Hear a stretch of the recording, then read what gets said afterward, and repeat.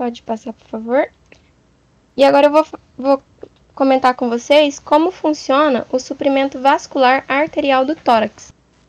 E eu vou começar fazendo uma pergunta, que é a seguinte: Qual a artéria mais agrícola? E quem pensou em artéria aorta, acertou. Eu comecei com essa piadinha um tanto sem graça, porque a gente vai estudar a artéria aorta descendente torácica, porque ela vai emitir alguns ramos que vão irrigar a parte do tórax. Como o William já mencionou também, ela essa porção que desce posterior ao coração e vai até o hiato diafragmático. Passando o hiato diafragmático, ela passa a ser chamada de artéria aorta abdominal descendente. Pode passar, por favor.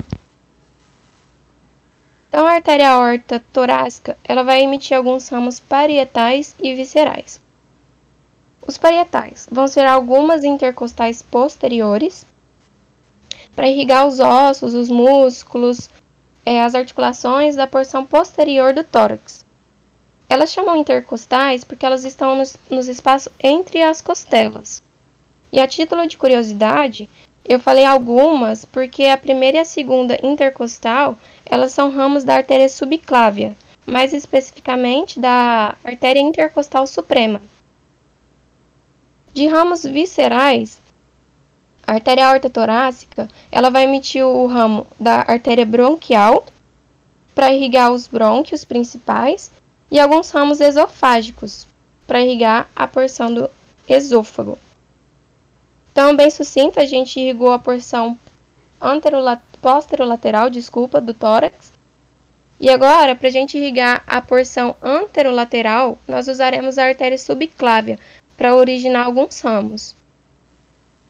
O primeiro ramo de, da artéria subclávia, que vai irrigar a porção anterior do tórax, é a artéria torácica interna, ou também chamada de artéria mamária interna ela vai descer medialmente em relação ao osso externo do lado de dentro do tórax. Ela vai originar as intercostais anteriores para irrigar os músculos, os ossos, as articulações da parte anterior do tórax. Essa torácica interna, ela tá no seu ramo terminal, ali próximo ao processo tifoide, ela vai emitir o, a artéria epigástrica superior, para irrigar os músculos anteriores do abdômen. Também vai emitir o ramo da artéria pericardiofrênica, que vai irrigar a parte do pericárdio e do músculo diafragma. Essas duas, esses dois ramos que eu falei agora, eles são ramos da artéria torácica interna. Temos também, partindo da aorta torácica, artéria frênica superior, que vai irrigar a parte do, superior do diafragma, e na aorta abdominal, que a gente vai ver no próximo slide, a gente vai conseguir ver a parte que irriga é, a parte inferior do diafragma. E tem a, essa artéria aqui subcostal, ela é isso, ela é ramo da artéria aorta torácica e ela também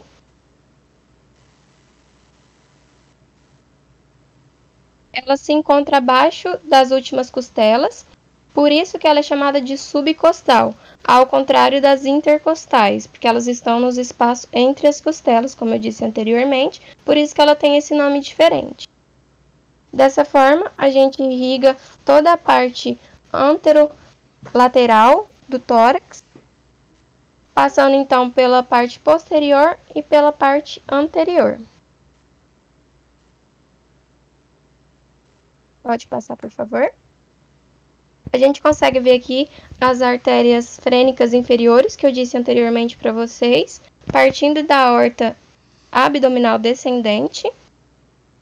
Alguns ramos esofágicos, que partem da artéria aorta torácica, para irrigar essa porção do, do esôfago. E a artéria bronquial, que também é ramo da artéria aorta torácica, para irrigar essa parte dos brônquios principais. E com isso a gente fecha então essa explicação das artérias e parte de irrigação do tórax. Boa noite, gente. É o Vitor aqui. É, a gente estava dando uma olhada na duração do vídeo.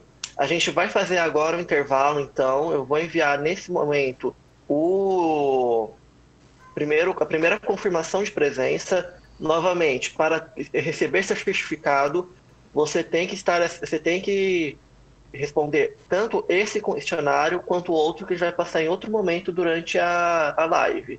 A gente vai dar para vocês é, descansarem um pouco, é, responderem o formulário. Tem, a gente sabe que tem problemas de internet.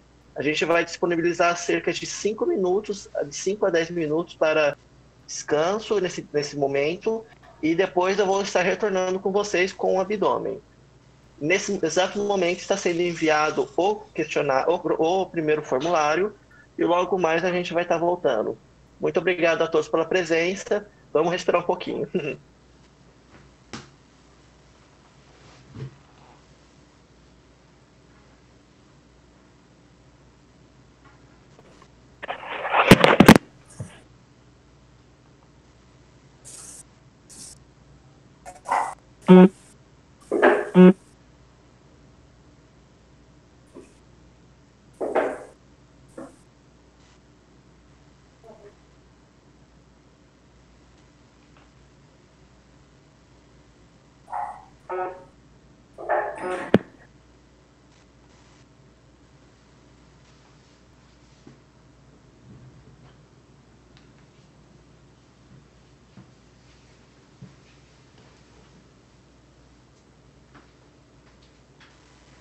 음.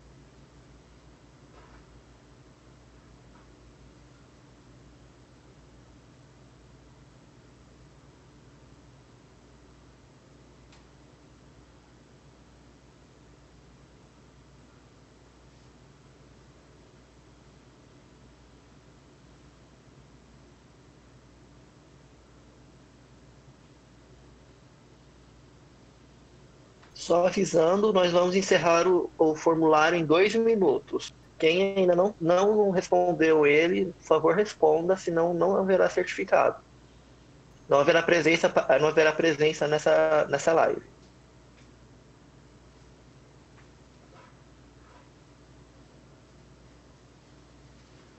Oi, gente, só voltando para lembrar que o certificado será entregue para quem tiver 75% de presença nas aulas. Só que ainda não sabemos quantas aulas vão ter.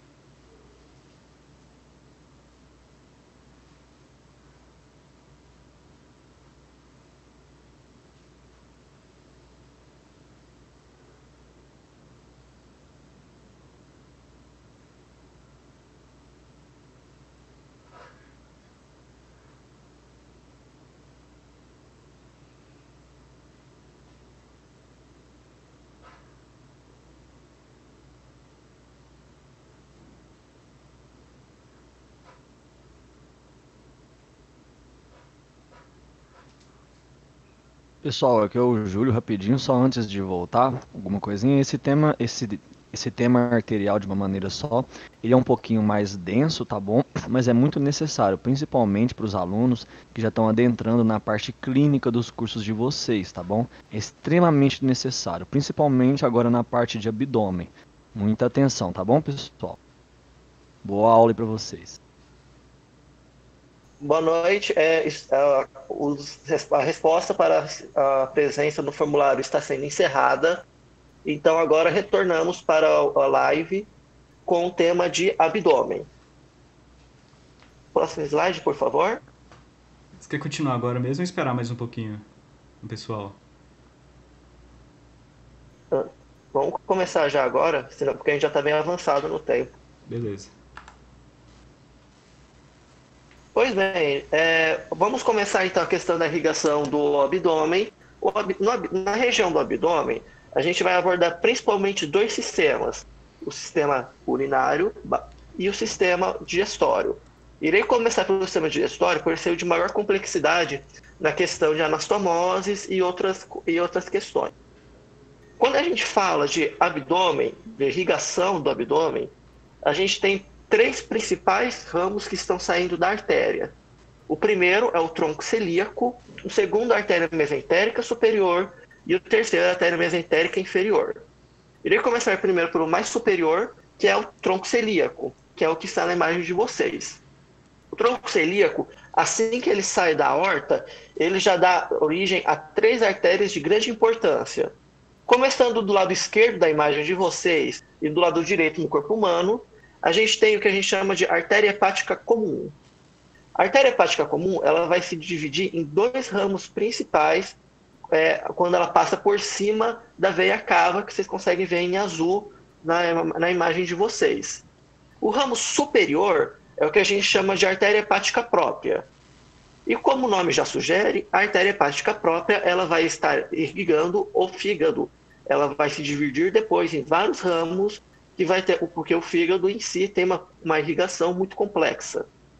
E um ramo que ela solta também é a artéria cística, que ela vai em direção à vesícula, permitindo a irrigação desse órgão. Se a gente for agora descendo pela, pela o outro ramo da hepática comum, a gente tem a artéria gastroduodenal. A artéria gastroduodenal eu vou estar abordando nos próximos slides, porque ela tem um, um sistema de irrigação muito complexo e ela também vai estar se juntando com, a, com as artérias mesentérica superior mesentérica inferior para irrigação dos órgãos do estômago, mas principalmente pâncreas e intestino delgado. Indo para os outros ramos do tronco celíaco, nós temos um pequeno ramo, que é a artéria gástrica esquerda. A artéria gástrica esquerda, vocês conseguem ver na imagem que está projetada, que o, o, estômago ele tem duas grandes curvaturas que, que uh, modelam o órgão. A menor, que é a chamada curvatura menor do estômago, e a maior, que é a curvatura maior do estômago. Ambas essas curvaturas, elas têm duas artérias que vão estar irrigando elas. Na curvatura menor do estômago, temos então a primeira artéria que vai irrigar ela, que sai do tronco, do tronco celíaco diretamente, que é a artéria gástrica esquerda, que ela vai estar irrigando essa primeira parte do estômago.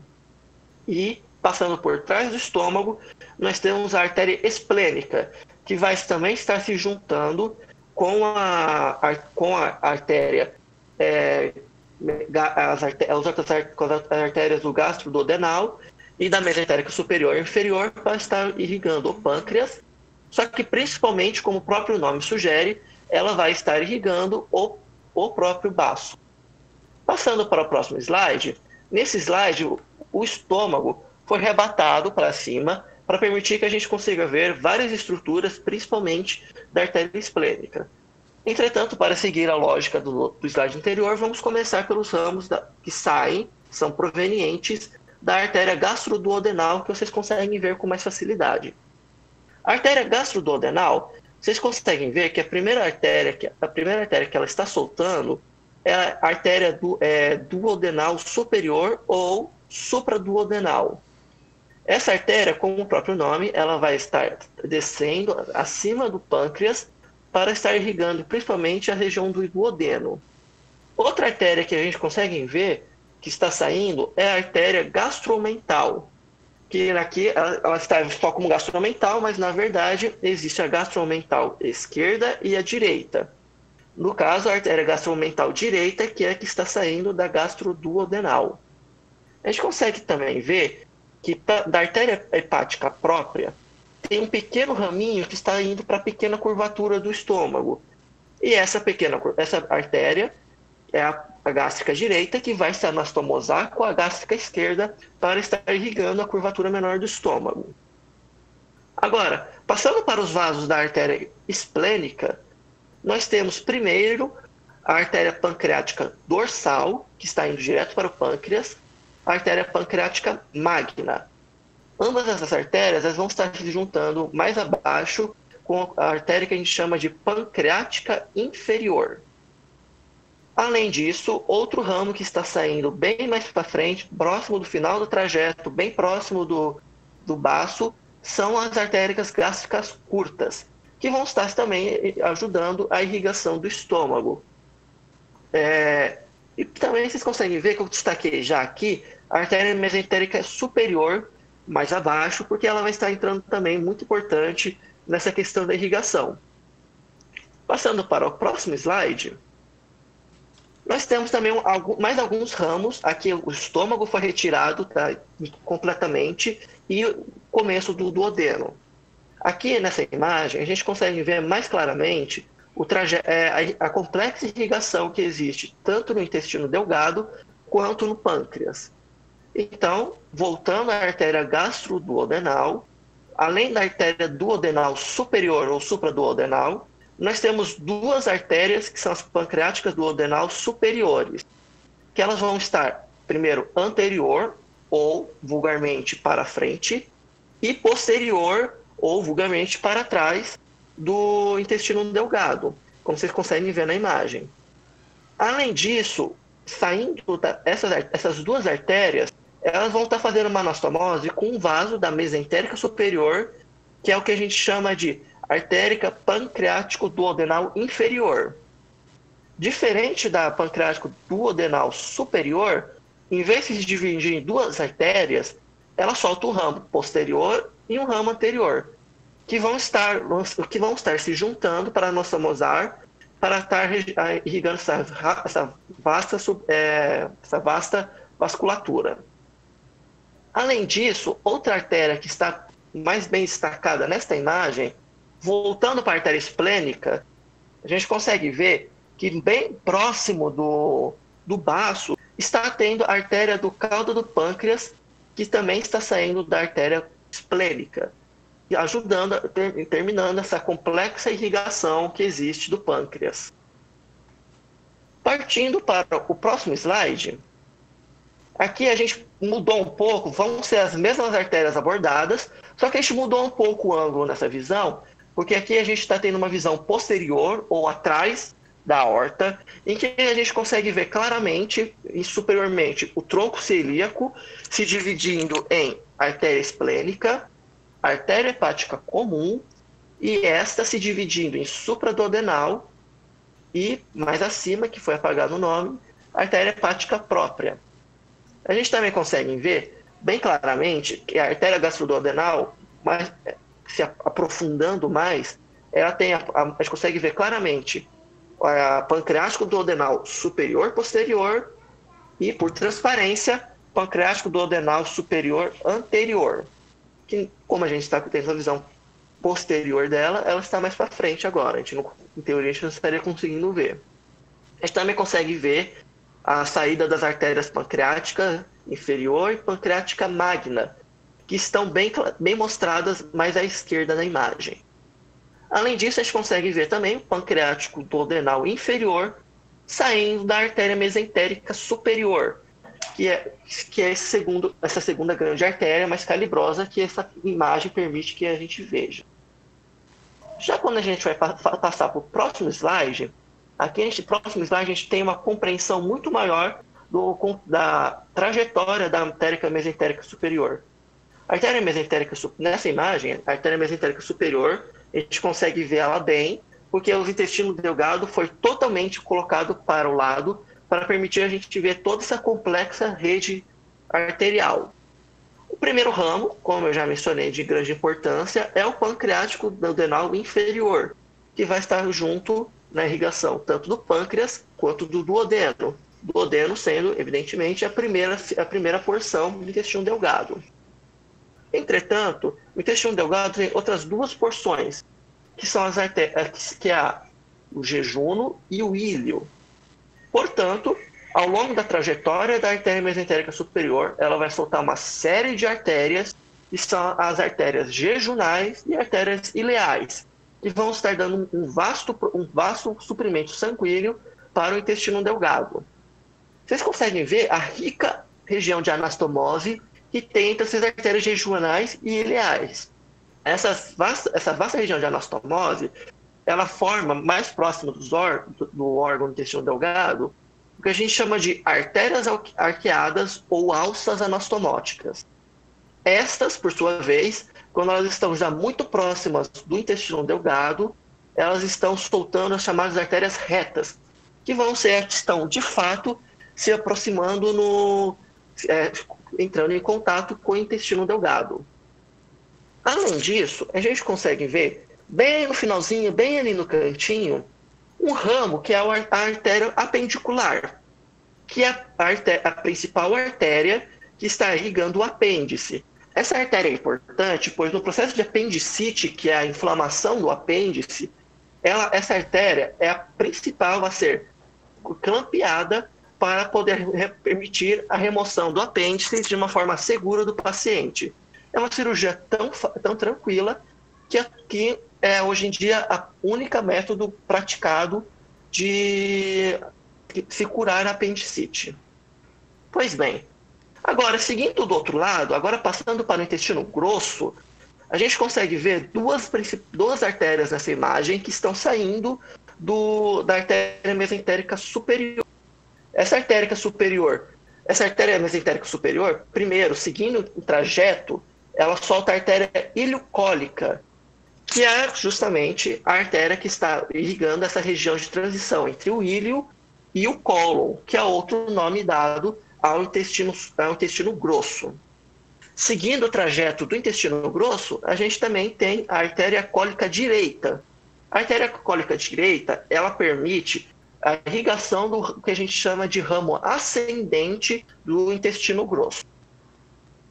Passando para o próximo slide, essa imagem, no momento, no primeiro momento, ela parece estar muito poluída, mas grande parte dela eu já abordei. Aqui a gente consegue ver os ramos das artérias, as artérias mesentéricas superior e inferior. Por que, que essa imagem foi colocada aqui?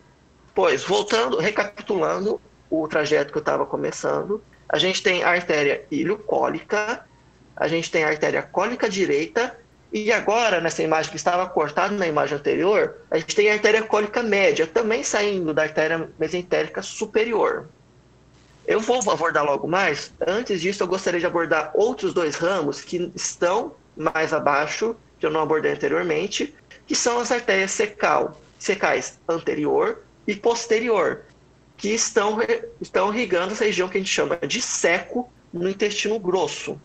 O é essa pequena região que fica abaixo do ilho, e que a gente vai dar abordando mais para frente, que quando o ilho conecta no intestino grosso, tem uma pequena parte do intestino grosso que fica abaixo do ilho, que é a região do seco.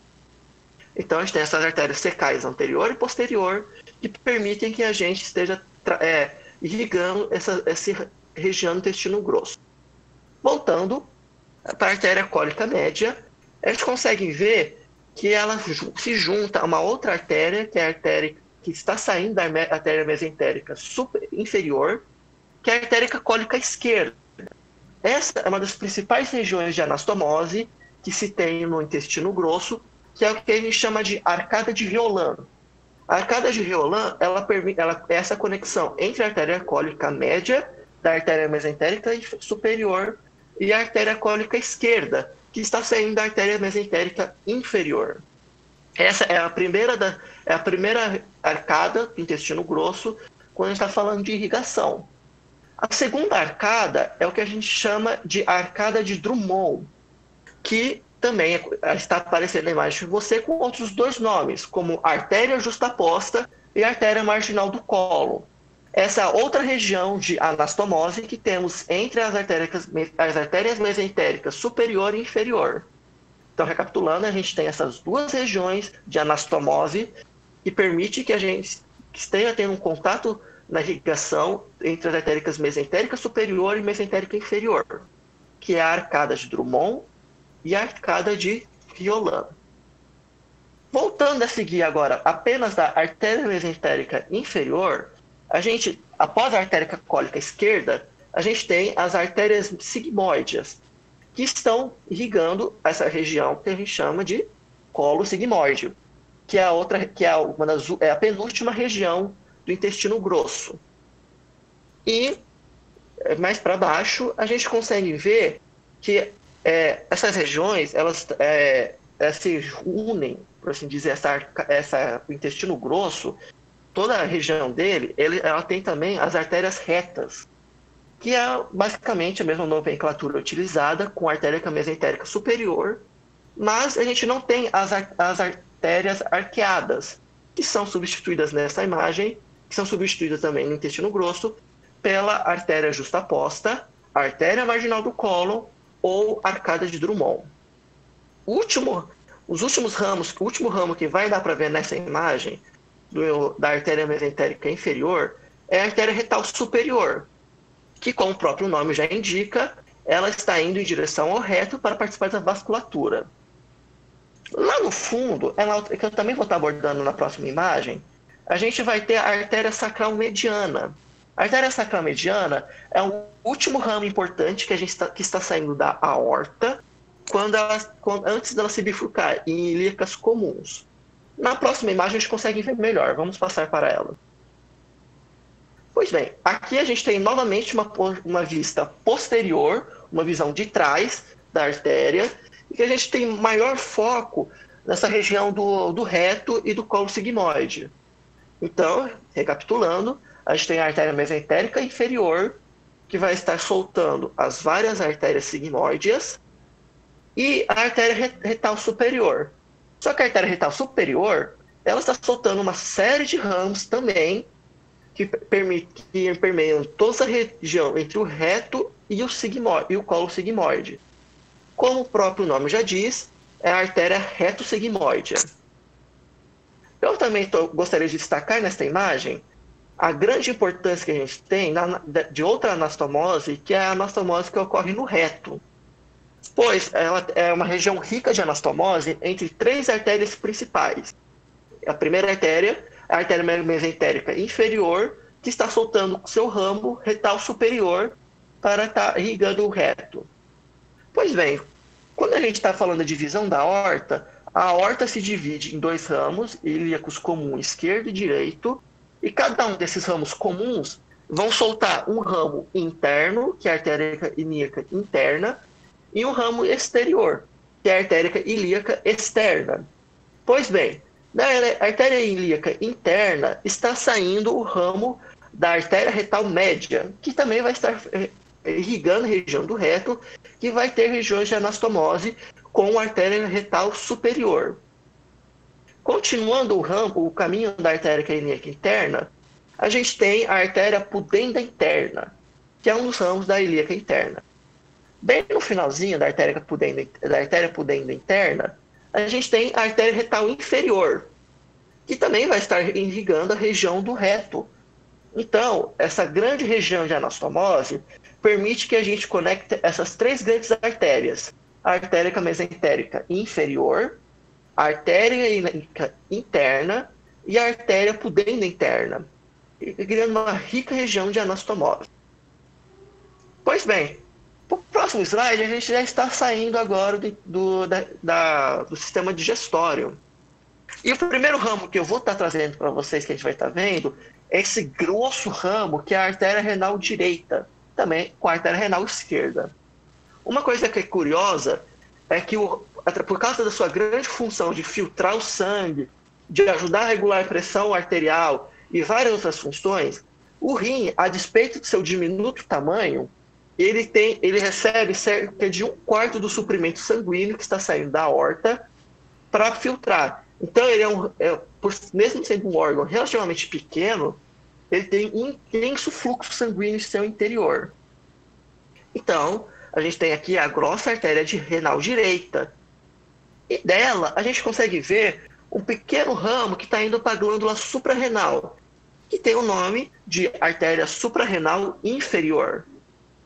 Pois bem, por que, eu destaquei esse ramo? Porque aqui a gente vai estar numa outra região de anomalia. A, a glândula suprarrenal, além da artéria suprarrenal inferior, ela recebe outros dois ramos importantes, que é a artéria suprarrenal média e a artéria suprarrenal é, superior, sendo que a artéria suprarrenal média sai diretamente da aorta e a artéria, e a artéria suprarrenal superior está saindo de um ramo chamado artéria frênica inferior. Por que, que eu estou destacando essa parte da, da, glândula? Porque a gente consegue, porque aqui vocês estão vendo apenas uma veia suprarrenal. Vocês conseguem ver que ela não recebe o nome de veia suprarrenal direita, é, superior, inferior, nada disso. Só existe uma veia suprarrenal. E isso é uma, é uma coisa um pouco anômala no corpo humano. Porque a maior parte das, do corpo humano, a região de irrigação de, das artérias, geralmente é no número inferior da região de drenagem venosa. Na suprarrenal, não. A suprarrenal ela recebe o maior número de ramos de artérias e o menor número de veias drenando esse sangue. Isso é uma coisa pouco comum quando a gente está falando do corpo humano. Agora, vamos voltando para o rim. Na próxima imagem, a gente no próximo slide a gente consegue ver um rim cortado ao meio. O rim, assim como outros órgãos, é, não existe uma região anatômica visível que a gente consegue ver que ele se, é, que ele se divide. Entretanto, ele tem uma divisão funcional, que eu até coloquei aqui na, no cantinho inferior direito da imagem de vocês, que são os segmentos do rim. E cada segmento desses, por ter é, questão de divisão funcional, ele vai ter o seu, uma, um ramo arterial próprio de acordo com essa região. Então, seguindo, tanto na imagem inferior, nessa imagem menor quanto na imagem maior, a gente tem em amarelo o segmento superior. Portanto, a artéria que irriga essa região do rim, a artéria do segmento superior. Aqui em verde, que é, é a imagem desse desenho menor, que é a esquerda a visão anterior. Então, em verde, a gente tem a a, o segmento antero-superior. Esse, esse segmento antero-superior, naturalmente, vai receber a artéria do segmento antero-superior. Abaixo dele, em azul, a gente tem o segmento antero-inferior. Portanto, a artéria que o irriga, a artéria do segmento antero-inferior. Mais para baixo, na, na região inferior do rim, temos o segmento inferior. Portanto, artéria do segmento inferior. E se a gente pegar o rim e ver de trás, uma visão posterior, a gente tem essa região em vermelho, que é a, o segmento posterior, que recebe naturalmente o segmento, a artéria do segmento posterior saindo da artéria renal. além de todos esses ramos que estão, a gente consegue ver, eles, eles vão se penetrando em, em, cada um de seus segmentos e vão se dividindo, se, se espalhando em artérias arqueadas, artérias intersegmentares, interlobares, que não é o propósito dessa aula e será abordado numa possível aula sobre, é, sobre rim, sobre sistema urinário. Além, de, além desses vários segmentos, nessa região mais próxima do rim, é, que a gente consegue ver a artéria entrando e o ureter saindo, é o que a gente chama de pelve renal. E existem ramos que estão indo diretamente para, esse, para essa região, que são os ramos pélvicos da artéria, da artéria renal. Também possui vários ramos que estão indo para o ureter. Portanto, ramos uretéricos da artéria renal. E o outro ramo que está aqui nessa imagem, que eu já abordei anteriormente, é a artéria suprarrenal inferior. Por questão de comparação, eu coloquei na próxima imagem de vocês uma foto real de uma dissecação muito bem feita do, da região do abdômen, é, em que a gente consegue ver a aorta, que está muito bem dissecada, e a gente vê que não é possível preservar muitos ramos na hora da, disseca da, da dissecação prática. Só que ela dá valiosas informações para a gente de que, nem, é, de que mesmo que no Atlas que a gente estuda sejam imagens muito bonitas, não, nem sempre a gente consegue, é, elas têm uma distinção muito grande. Então, seguindo o trajeto na ordem que eu falei, lá em cima, a gente consegue ver o tronco celíaco saindo da horta. O tronco e desse, do tronco celíaco, os únicos ramos que foram capazes de ser preservados nessa, nessa região é a artéria esplênica e a hepática comum. Sendo que a gástrica esquerda é uma artéria muito pequena e que é muito frágil, muito frágil na hora da dissecação. Abaixo do tronco celíaco, a gente consegue ver a artéria mesentérica superior, saindo também diretamente da aorta, só que aqui ela está cortada. Então aquela vasta região de irrigação não é capaz de ser visto nessa, nessa imagem. Descendo mais um pouquinho nessa região abdominal da aorta, a gente tem a artéria mesentérica inferior, está um pouquinho mais bem preservada, ela está com um pedacinho maior, só que a gente também não consegue ver nenhum de seus ramos é, sendo, é, saindo para, para várias regiões, pois também os intestinos foram retirados dessa imagem, assim como o reto. E mais para baixo, a gente consegue ver a região em que a, a, a artéria aorta está se dividindo em artérias lílicas comum e lílicas interna e externa. Entretanto, essa não é uma parte que, que pertence a mim, então eu agradeço muito a atenção de vocês.